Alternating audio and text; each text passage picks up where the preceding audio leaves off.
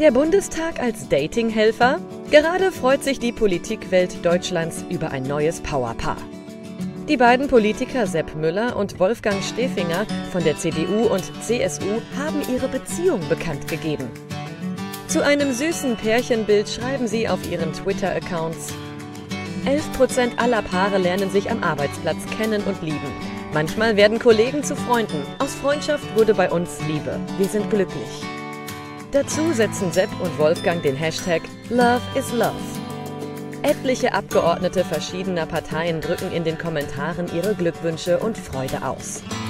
So schreibt beispielsweise Jens Spahn, nur die Liebe lässt uns leben. Mary Rose.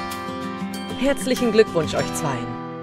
Schön zu sehen, dass auch Politiker anderer Lager die frische Liebe der beiden